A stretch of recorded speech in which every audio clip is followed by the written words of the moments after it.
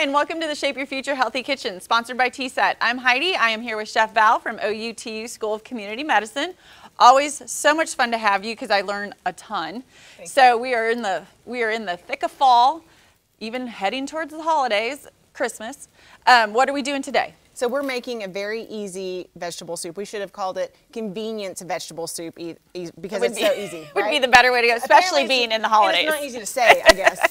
So already in this pot, we have sautéing some. We we we've used this in other segments, but it's onion, carrot, celery, pepper that you Okay. can buy frozen, chopped in the frozen section, obviously, and it's ready to go. Okay, so you could you could chop your own vegetables, but I really wanted to make this a recipe that was like just just get it in the Right, pan. like okay? throw it together so you can head out to the next thing, especially with the holidays because you're always a bit busier than usual.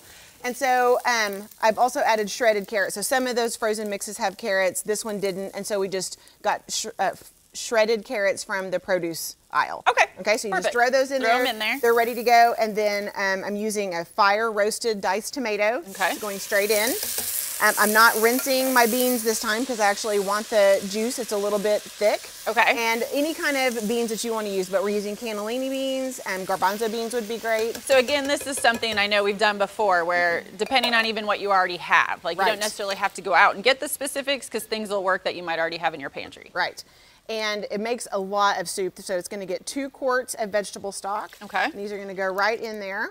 Oh, gets me excited. There's always like something with the colder weather where soup just tastes amazing.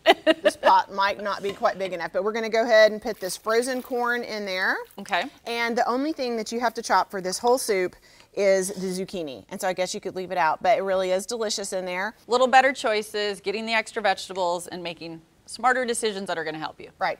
So when this all gets completely cooked, uh, or excuse me, when this comes to a bubble, we're going to stir in the spinach. But the thing that is important about this also is that we're using this rotini red lentil pasta. Okay. Okay. And so instead of traditional pasta, this has um, fewer carbohydrates, more fiber. It's healthier. It has more nutrients.